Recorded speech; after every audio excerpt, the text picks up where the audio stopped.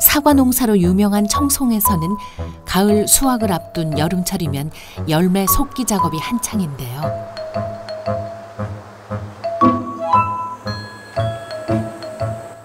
내 따나온 거는 또 많이 땄다고 혼내고 자기가 다 해야지.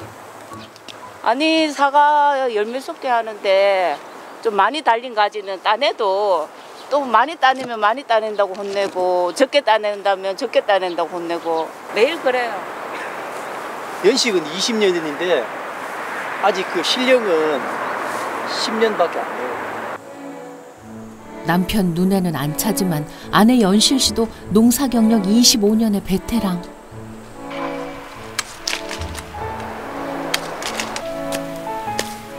그런데 버려지는 사과가 너무 아깝네요. 많네.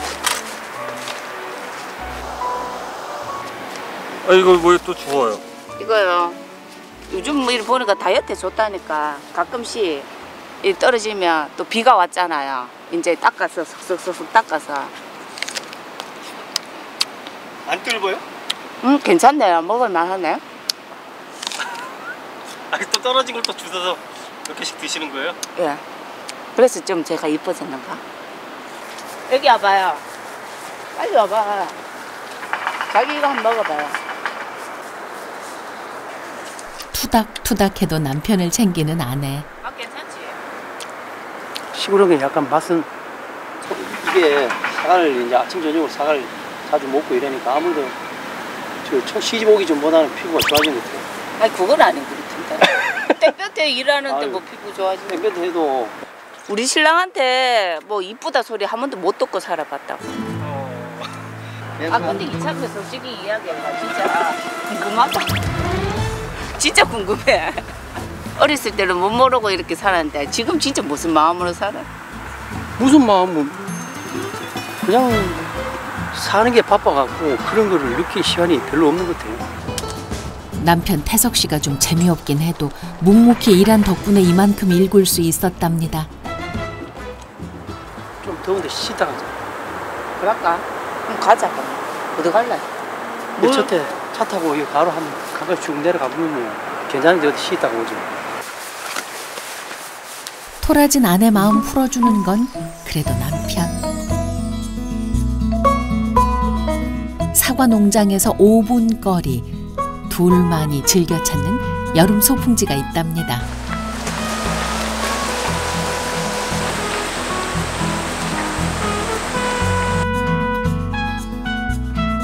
암석이 온통 하얗다고의 이름 붙은 백석탄 포트홀.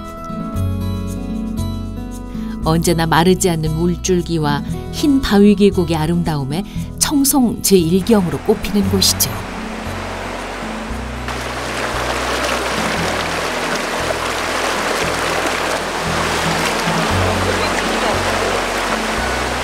손만 담가도 얼음장 같은 물에 아내는 장난기 발동.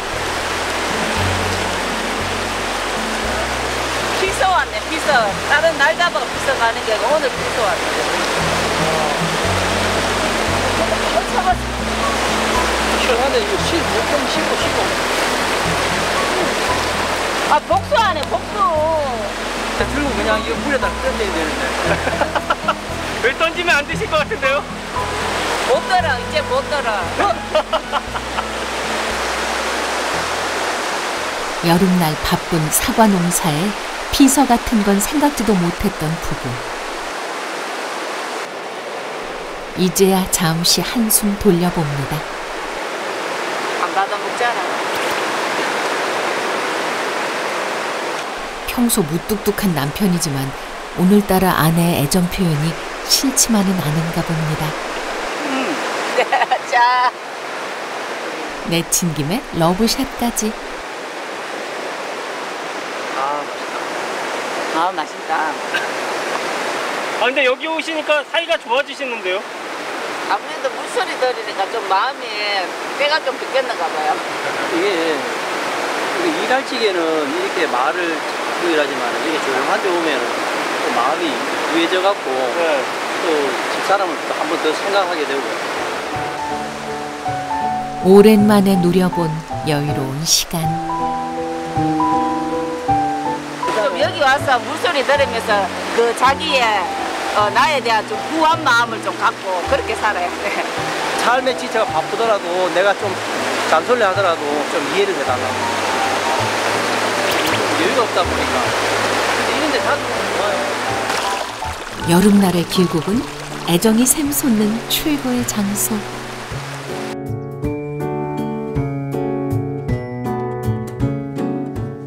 집으로 돌아와 식사 준비를 하는 아내. 지금 손질하시는 건 뭔가요? 골부리 골불이 이게 많이 나와요. 여기 많아요. 여기가 어, 예- 지금은 좀 그런데 그지 일곱 수라 가지고 여름날 맑은 기국과 강가에서 채취할 수 있는 다슬기. 이곳 청송에서는 골불이라 부른답니다. 지금이야 별미로 먹지만 시집 올 때만 해도 연실 씨에게는 낯선 음식. 청송이 어디 붙였는지도 잘 몰랐죠. 그 시집 오니까 이게 꼴짝이더라고 두메산골 꼴짝이. 그러니까 그때는 이제 신랑이 저 콩꽃불이 씌우니까 여기가 두메산골 오진지 그런 게 눈에 안 보였는 거지. 골부리를 볼 때면 남편 하나 믿고 무작정 들어왔던 그때가 생각난답니다. 지금은 직접 잡아올 정도로 연실 씨도 남편도 가장 좋아하는 여름 특식.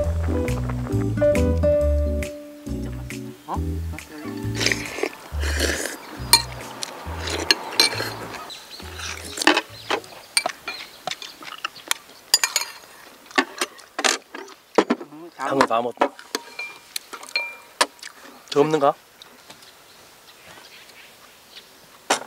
두 그릇째, 두 그릇째. 그렇게 맛이 좋아요. 오늘 했는 거는 정성이 들어갔는지 이게 하여튼 맛있어요. 내 태어나고 이게 이제 사 먹고 이랬지만 진짜 맛있어요. 근데 여기 아까 무작정 들어오셨다 그랬잖아요. 예. 여기 그렇게 들어온 거 후회하세요? 아니요 지금은 후회 안 해요. 제가 미안해요. 아, 지금 이제 여유가 있어갖고 한 번씩 바람 쐬러 가고 이렇게 하지만은 진짜 제가 아무것도 모르고 이 맨따 해당하다시피 뭐 가진 거 토지도 없고 이래갖고 쟤만 보고 이래 와가 아들 서 키우면서 그 흔한 요즘 흔한 그 백일이나 돌잔치 한번 모고 있어요. 그게 마음에 지금 아, 제일. 아프고 뭐?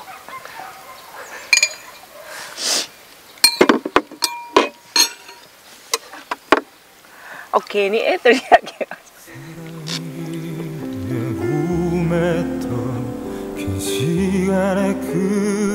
부부는 서로를 비추는 거울. 가만히 들여다보면 내 아픔이 당신의 아픔이라는 걸 깨닫습니다. 되돌아가